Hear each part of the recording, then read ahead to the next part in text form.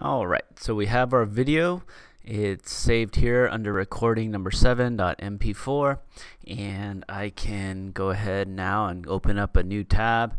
I always use YouTube because it's convenient and there's a lot of different streaming services that you can use like Vimeo uh, but this is the one that I use so what you need to do is create an account on YouTube and sign in. Here's me. This is my account and you're going to hit this button here. Click on upload video. And now all you need to do is take the video from the Finder window or the directory window and drag it into YouTube. Let go. It's going to be live at this web address so you can click on that to open it up. And you have a couple of options here.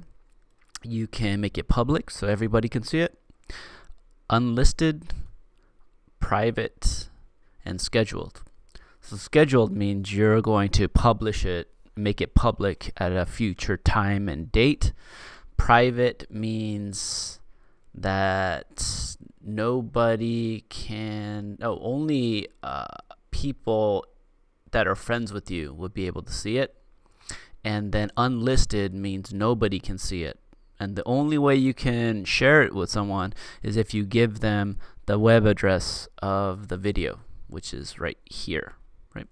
So for this one here, I'm going to make it unlisted since it's not part of the videos that I normally want my uh, constituency to view. So I'll go ahead and click unlisted. I say done.